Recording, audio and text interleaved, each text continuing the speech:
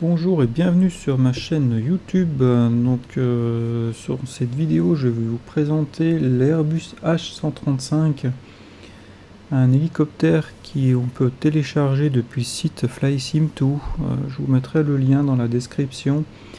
Euh, donc il est gratuit et puis je trouve assez complet. Voilà, c'est un hélicoptère que je sais beaucoup de joueurs aiment télécharger. Euh, dans le jeu. Donc euh, voilà, donc euh, moi je vais essayer de vous le tester. Hein. Je suis pas le spécialiste en hélicoptère, mais je vais quand même vous essayer de vous faire tester ça. Voilà un petit peu, il, présente plusieurs livrées. Hein. Moi j'ai choisi une livrée. Hein. On est sur l'aéroport de La Rochelle. Et puis euh, cet hélicoptère a un petit plus, enfin je dirais une particularité par rapport aux deux autres hélicoptères qu'on a de base hein, donc dans le jeu, hein, donc qui sont euh, le Bell 407 et puis euh, l'autre c'est hum, un petit, je sais plus comment il s'appelle. Enfin j'ai fait aussi des vidéos, des vidéos sur ma chaîne aussi, hein, donc le Cabri, voilà, des vidéos aussi sur ces deux hélicoptères. Celui-là, il a la particularité d'avoir un pilotage automatique. Donc éventuellement, vous pouvez même programmer des vols IFR.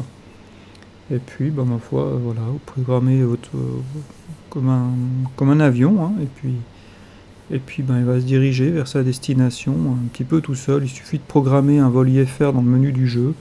Une fois que c'est fait, ben, en fait, euh, il est enregistré dans l'hélicoptère. Voilà un petit peu quoi dire sur cet hélicoptère, euh, j'ai pris un petit peu d'informations sur Wikipédia. Euh, qu'est-ce que on peut laisser comme ça? Voilà, donc euh, sur Wikipédia, ils disent que le H135 est un biturbine léger pouvant remplir un nombre de missions très variées. En effet, il est intensivement utilisé à travers le monde en tant qu'hélicoptère de secours mais aussi pour des missions de police, offshore, travail aérien, VIP et dans certains pays dans sa version militaire euh, comme hélicoptère de reconnaissance armée. Voilà, de lutte anti-char, d'appui tactique euh, tout temps et de dépose de commando en, territoire hostile. Voilà. En tout cas, voilà ce qu'ils nous disent sur Wikipédia. Donc vraiment un hélicoptère, je pense, qui a été sûrement fabriqué à énormément d'exemplaires, qui est beaucoup utilisé un peu partout dans le monde. Alors moi, je sais que j'ai téléchargé, vous verrez quand euh, vous téléchargez en fait, euh, comment, euh, sur le site de FlySim2, en fait, il va vous faire télécharger un petit launcher, un petit peu à la méthode de Fly-by-Wire. Et puis là-dessus, ben, vous pouvez sélectionner le H135 et puis ensuite vous pouvez le télécharger euh, donc moi je suis sur, il y a trois versions, c'est marqué 445, 446 et 447. Moi j'ai mis 446. Euh, la 447, il y a des boutons apparemment qu'on peut pas cliquer. 446 euh, ça a l'air d'être le plus stable et 445 moi je sais pas si c'est ça ou pas mais j'avais des gros problèmes de lag j'ai dû en fait supprimer et puis retélécharger cette version 446 pour l'instant, ça a l'air d'aller, hein, donc euh, j'espère que j'aurai pas de, nouveau des, saccades, mais beaucoup de saccades avec cet hélico. Euh, chose que j'ai pas avec les autres euh, qui sont de base du jeu, mais celui-là, c'est le problème que j'ai eu. Voilà. Donc, moi je vais rentrer dans le cockpit. Donc ici on a le système de navigation. Hein. Des fois pour l'activer, s'il n'est pas activé, quand vous appuyez, il suffit de, Levez un petit peu le manche comme ça, puis il s'active. Voilà. Et puis, voilà un petit peu ce que ça donne.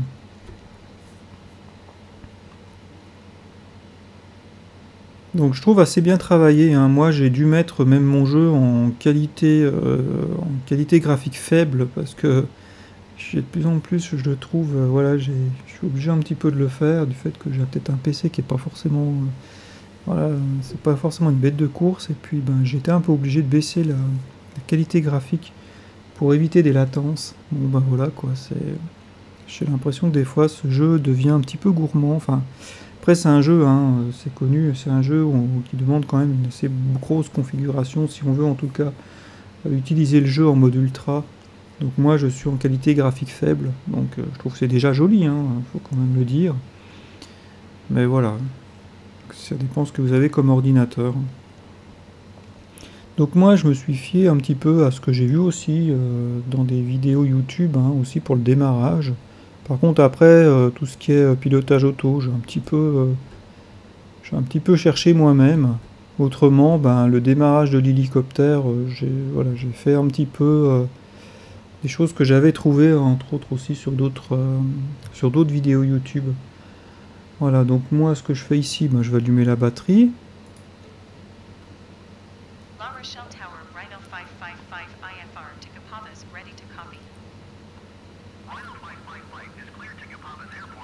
C'est l'altitude que j'ai programmée, une altitude de croisière à 5000 pieds. J'ai toujours mon copilote euh, qui va régler automatiquement le transpondeur.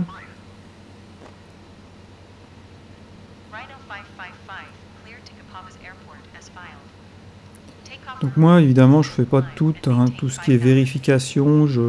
J'essaye de déjà démarrer les moteurs correctement et puis euh, voilà, je ne veux pas non plus rentrer dans le détail au niveau de toutes les procédures euh, pour démarrer euh, pour démarrer l'hélicoptère. Hein. Donc un petit peu comme je fais un peu dans toutes mes autres vidéos pour finir. Hein.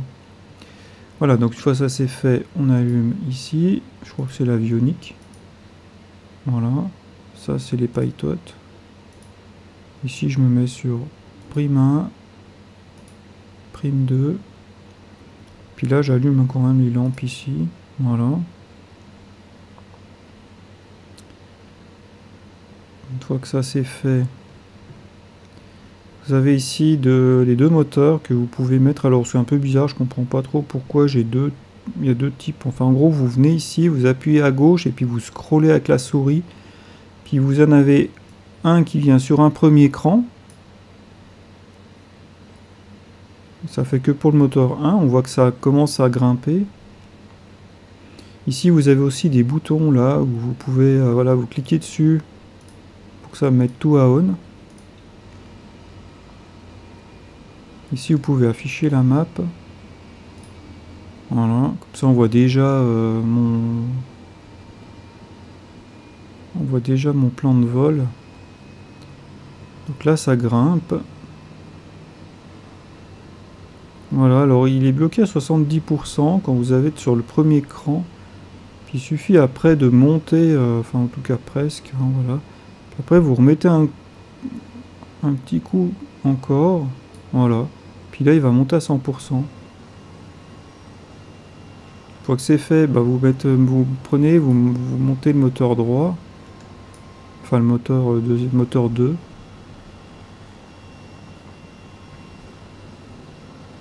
Puis là, il va grimper aussi. Alors là, il n'y a qu'un clic. Hein. C'est-à-dire que là, ça se fait en deux. Il y a deux positions. Puis là, il n'y a qu'une position. Bon, ben voilà. Je saurais pas dire pourquoi exactement. Hein. C'est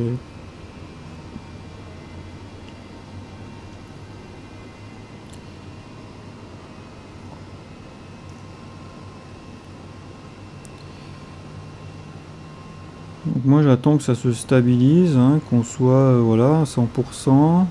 Une fois que c'est fait, ben, en fait je viens ici en haut. Ça c'est des... Et puis ben, je mets ça, ça et ça. Puis après je désactive ces deux-là. Et là vous avez votre hélicoptère qui est démarré. Voilà.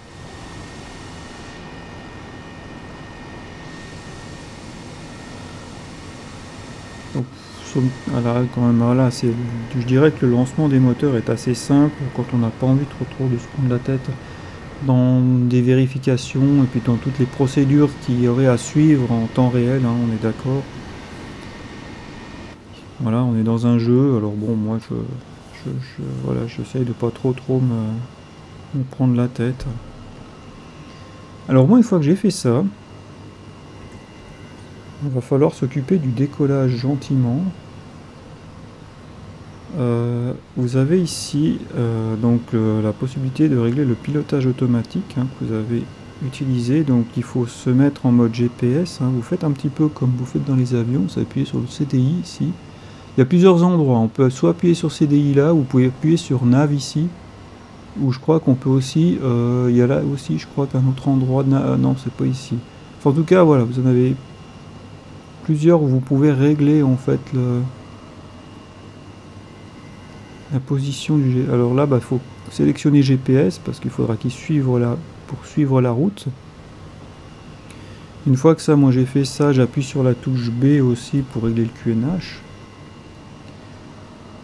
Voilà, donc là, je sais pas pourquoi il m'a mis 10 000. Euh, ce qu'on va faire, on règle pour régler l'attitude, vous appuyez sur Alt. Euh, moi, je désactive ça parce que c'est justement c'est là le pilotage automatique sans planche. Puis là, en fait, ben, vous réglez avec Up et puis vous mettez. Euh, moi, comme j'ai réglé 5000 en, en altitude de croisière, je mets 5000 pieds ici.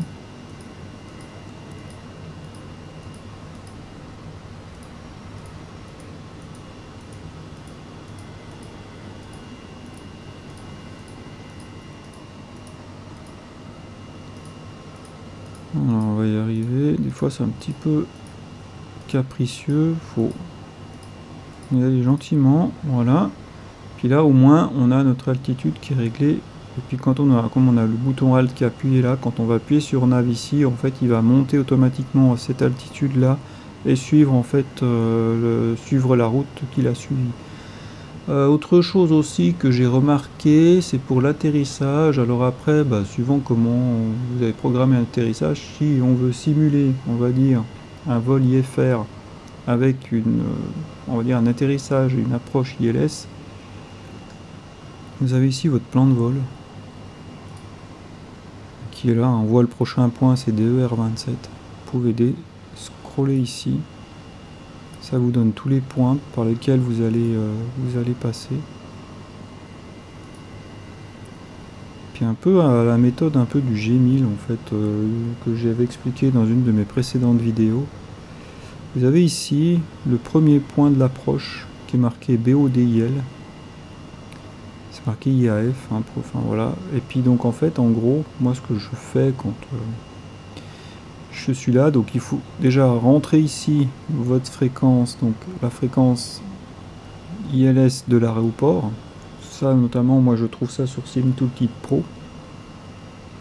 Logiciel gratuit, hein, vous pouvez télécharger et puis utiliser euh, avec euh, vos vols. Ou, euh, et puis donc juste avant ce premier point de l'approche, hein, c'est marqué, vous voyez approche. Hein, eh ben, en fait, moi je viens dans procédure, puis je vais faire activer ta approche. Voilà. Et puis il va falloir rentrer donc cette fréquence qu'il faudra mettre sur nav. Donc au départ, bah, vous pouvez la mettre en stand-by. Puis au moment où vous devez la rentrer, bah, vous la basculez et puis elle passe sur nav. Puis vous avez la fréquence ILS de l'aéroport qui est rentrée. Et vous pouvez aussi hein, régler euh, l'instar des autres, euh, comme les avions, le bearing 1, où là ça va vous donner moi j'aime bien mettre ça comme ça, ça me donne un prochain point sur lequel et la, distance à laquelle le point va passer. Et bearing 2, je me mets nav 1, puis en fait ça veut dire que quand il a capté la fréquence ILS, vous, allez avoir la vous allez avoir ici les données. Donc là vous saurez que oui, ah bah là ça y est c'est bon, euh, il a capté la fréquence. Il semblerait qu'il y ait des aéroports, ils l'ont pas, il y en a qui l'ont fait, il y en a d'autres qui ne l'ont pas fait, alors est-ce que c'est un bug? Qui vient des aéroports ou pas, j'ai aucune idée. Enfin bon voilà, c'est une bonne indication, en tout cas pour quand vous allez atterrir, parce que moi je vais vous déjà, déjà décoller, aller jusqu'à la, la de croisière et puis gentiment après arrêter la vidéo ici, comme un petit peu ce que je fais d'habitude. Voilà un petit peu euh, ce qu'on peut dire là. Donc là en fait on est pour moi on est prêt à, rouler. Hein. donc euh, je vais faire une demande de roulage IFR.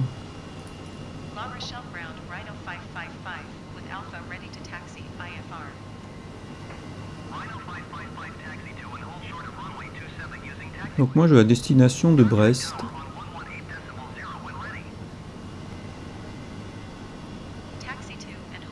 Voilà, donc là il me dit vient de rouler. Donc là par rapport au, plan de vol que j'ai défini.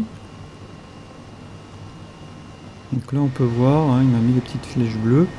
Donc maintenant l'idée c'est d'aller s'aligner sur la piste parce que bah, je crois qu'en réel normalement on est quand même censé voilà euh, pas décoller à la verticale et puis n'importe vous êtes censé aussi, même en hélicoptère, décoller depuis une piste. Alors, donc par contre, je l'ai trouvé beaucoup plus difficile à piloter que les deux hélicoptères qui sont de base dans le jeu. Je sais pas pourquoi. Euh, j'ai essayé de régler plusieurs fois, mais donc euh, je vais essayer d'arriver quand même à vous faire quelque chose. Allez, vous faire un décollage puis un roulage.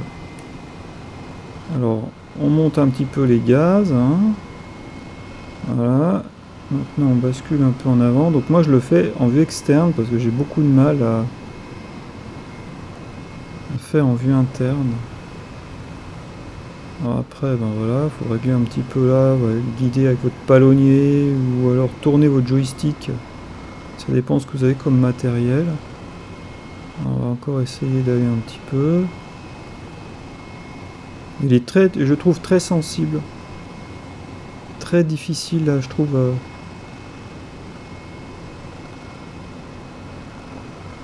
à piloter. On voit déjà que voilà, on commence à prendre un peu de vitesse. Hein. J'essaye assez rapidement. On commence à voir quelques lacs, j'ai l'impression. Je sais pas si.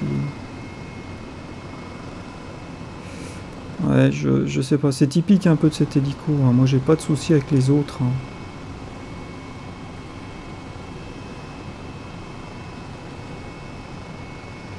Alors là, on que j'ai pris, pris de la vitesse. Hein. Alors moi, ce que je fais en général, je me repose. Voilà. On est très vite, oui, j'ai un peu de mal à comprendre pourquoi il... Pourtant, j'essaie de rester assez délicat sur... Puis en plus, quand vous avez le jeu, euh, votre...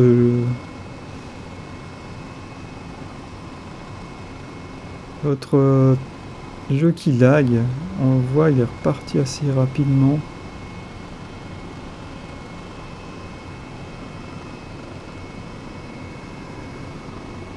J'ai pas eu de problème euh, la dernière fois que je l'ai utilisé et puis là j'ai nouveau un souci. J'espère que j'arriverai à terminer la vidéo comme ça du coup, je vais pas vous forcément vous faire jouer un joli contenu pour le pilotage, en tout cas en manuel de cet hélicoptère. Étant donné que c'est très compliqué, surtout quand vous avez le jeu qui lag. Alors en plus, il est pas facile à piloter. En plus, euh, moi j'ai une grosse latence. ça au moins, l'avantage de le voir ici dans cette vidéo, ça vous fait voir euh, ce qui se passe avec euh, cet hélicoptère. Hein.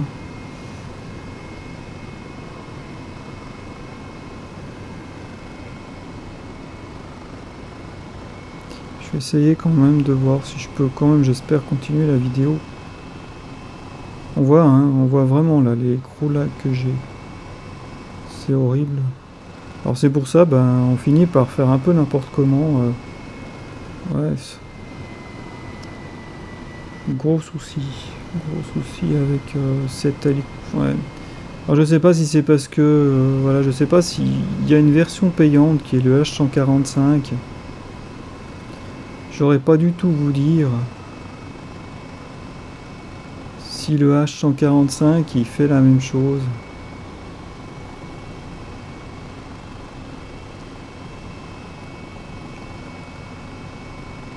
Voilà, alors là je vais essayer de le poser ici, puis en fait ouais, il, fait, il fait un peu n'importe quoi. Parce que normalement je suis censé m'arrêter ici, au point là, parce qu'il va me dire... Euh,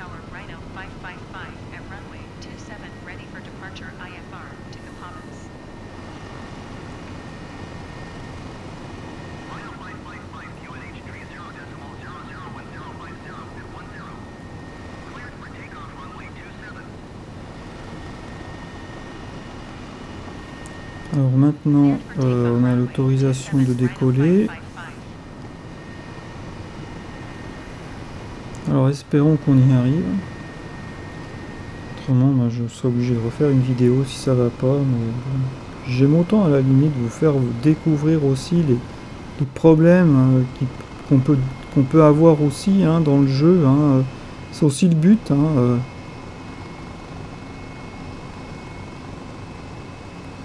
Là, ben, je pense qu'il aurait dû déjà commencer de décoller. Puis comme il reste cloué au sol, c'est aussi le but. Donc j'y vais plus doucement.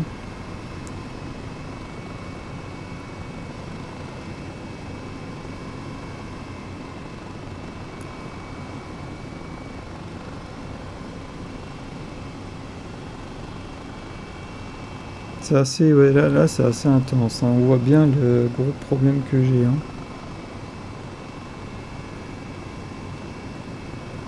Vous voyez, comme ça, c'est ça, c'est image par image. C'est horrible. Je ne sais même pas si je vais pouvoir décoller en fait. Mais je mettrai cette vidéo en ligne de toute façon. Si je dois la refaire, euh, je vous la remettrai, je la mettrai pour faire voir quand même le problème qu'il y a. Et là, c'est quasi impossible. Je vais même pas pouvoir m'aligner sur la piste. Je peux, je pas, je peux rien faire. Euh, l'idée, ce qu'on va faire, euh, est-ce qu'on peut quand même...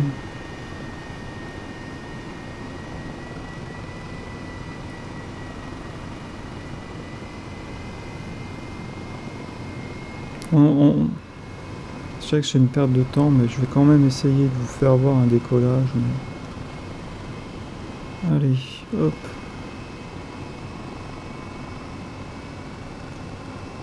J'aurais aimé vous emmener jusque sur la piste.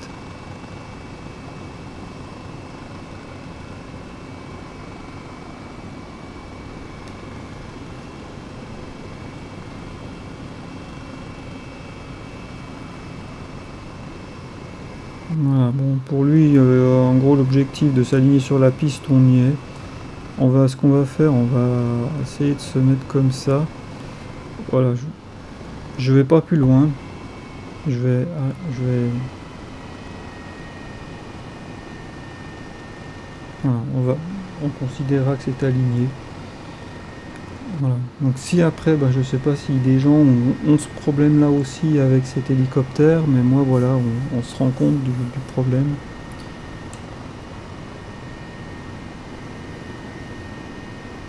Et la dernière fois j'ai utilisé, euh, j'ai utilisé hier, ça s'est bien passé.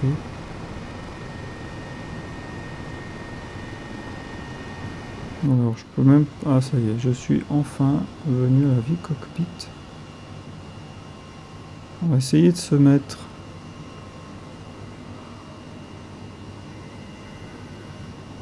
droit.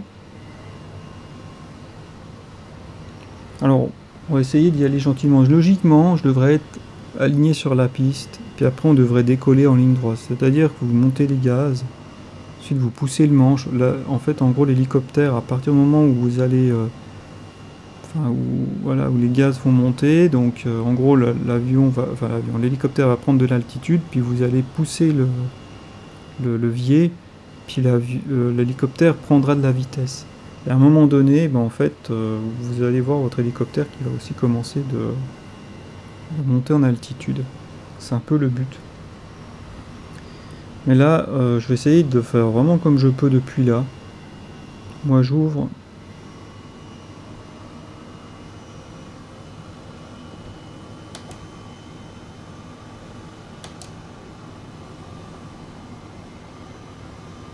Voilà.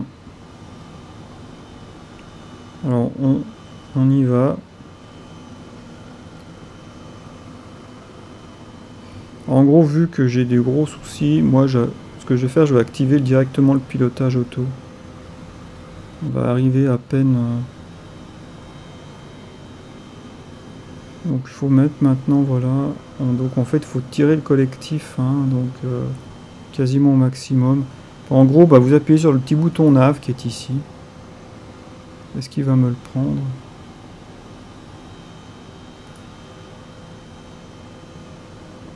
Voilà que vous avez fait ça, on voit qu'il bouge. Hein, c'est-à-dire que là, j'ai appuyé sur le pilotage auto, puis il est voilà. Puis en fait, hein, il va suivre sa route. On montrera pas l'altitude de croisière. Hein, cela, l'image est horrible. On peut rien faire. Je sais même pas si je peux vous montrer le. Mais bon, l'idée, il est là. On voit aussi hein, des fois que ça passe un peu dans le rouge. Hein. C'est ça ici, ceci, c'est la, c'est les moteurs.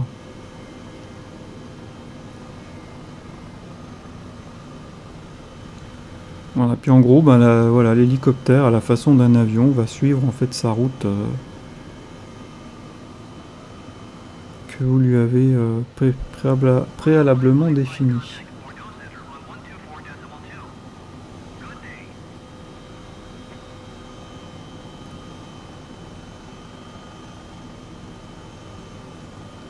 Donc on a vu hein, que ça n'a pas mis longtemps la lag.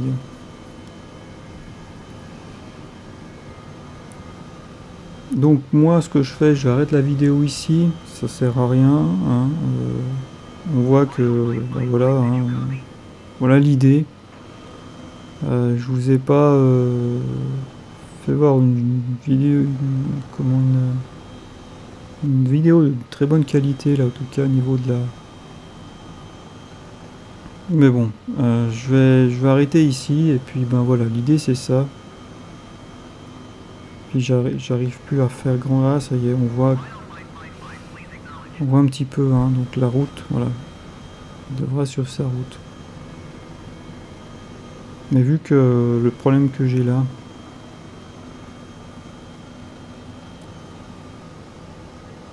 c'est pas simple du tout.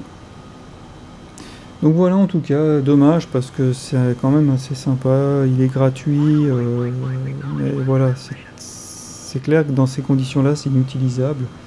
Donc bah, merci de me dire à l'avance, enfin merci de me dire si vous avez aussi ce problème. Au moins, je vais, je vais publier cette vidéo dans cet état-là. Euh, puisqu'on j'ai en gros fait voir ce que je voulais faire montrer. Et puis, euh, ben, vous voyez en même temps les problèmes de latence que j'ai sur cet hélicoptère. Puis, ben, n'hésitez pas à me dire si vous avez aussi ce type de problème. Euh, on ne sait jamais. Voilà, en tout cas, merci, euh, merci à tous ceux qui passeront sur ma vidéo d'avoir regardé. Et puis moi, je vous dis à bientôt. Ciao, bye bye.